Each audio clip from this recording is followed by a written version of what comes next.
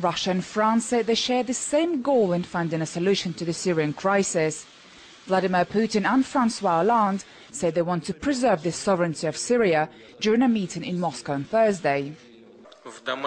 We favor maintaining Syria as a sovereign democratic state. We have a lot in common on how we approach it. We should not allow the Syrian tragedy to be exploited by radical groups and international terrorists. However, there is a divide on how Russia and France want to resolve the situation in Syria. Russia has long insisted that Syrians should decide their own fate, while France favors Syria without Bashar al-Assad. We want political dialogue. We think that this dialogue must find a new form so that it speaks to all parties. We need to imagine a political dialogue that allows for the opposition to negotiate with a party that it finds acceptable. The two presidents say that proposals put forward at the meeting at the Kremlin would have to be discussed with other partners. This is the first time that Francois Hollande visits Russia as the president of France.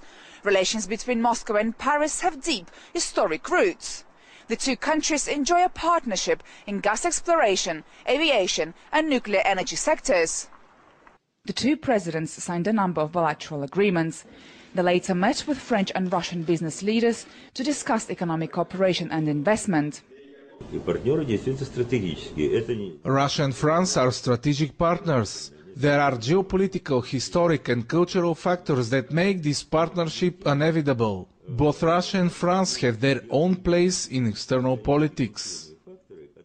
Vladimir Putin said that discussions with Francois Hollande were active and frank, and that he hoped for further development of ties between them. Julia Lubova, Press TV, Moscow.